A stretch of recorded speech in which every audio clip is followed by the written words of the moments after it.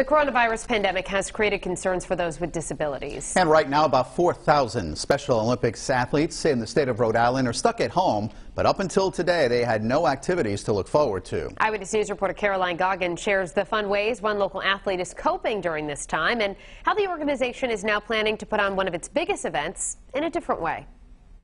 The head of Special Olympics Rhode Island says the hardest thing for his athletes to deal with right now is the isolation. But as they remain cooped up at home, he has some exciting news to share.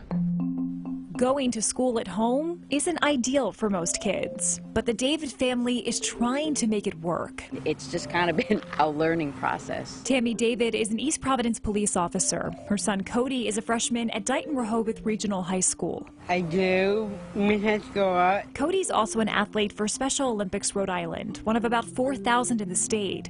CEO Denny DeJesus says his athletes share the same fears many of us have right now, but their biggest challenge is that they simply miss their teammates. We just started Zoom meetings uh, with our teams, and you can't imagine the excitement that they have when they see a teammate of theirs or a friend of theirs who they haven't seen for a month or two. You know, those are his friends that he hangs out with, he has fun with, and we're missing it. So to keep his mind off things, Tammy is improvising. Cody does worksheets for school, but he's also doing fun activities to keep him learning and motivated. What'd we do? We made up a, a cafe. A cafe. Yeah, a breakfast and uh, lunch cafe. We, we did a little menu. Yeah. And then we put it out on Facebook, and everybody was ordering from the menu.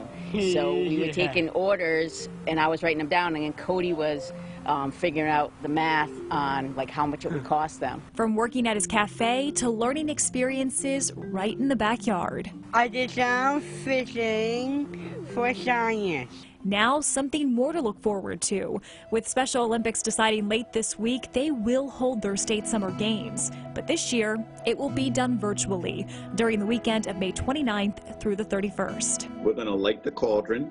We're going to have opening ceremonies.